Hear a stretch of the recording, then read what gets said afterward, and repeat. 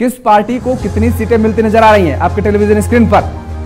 Bharatiya Janata party को छत्तीसगढ़ में सैंतीस से बयालीस फ़ीसदी, इकतालीस फ़ीसदी वोट मिल रहा है और सैंतीस से बयालीस सीटें मिलती नज़र आ रही हैं बीजेपी को।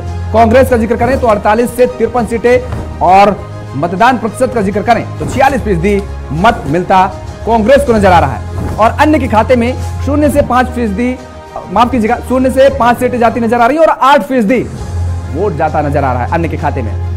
छियालीस फ़ीसदी के साथ कांग्रेस बढ़त बनाती नज़र आ रही है और इकतालीस फ़ीसदी भारतीय जनता पार्टी को, यानी पाँच फ़ीसदी भारतीय जनता पार्टी से ज़्यादा कांग्रेस अपने खाते में नज़र आ रहा है। यानी कांग्रेस को बढ़त मिलती नज़र आ रही है। नब्बे सीटें और सरकार बनाती, एग्जिट पोल में नज़र आ रही है कांग्रेस। यानी लोगों को विश्वास कांग्रेस पर अभी भी बना हुआ है।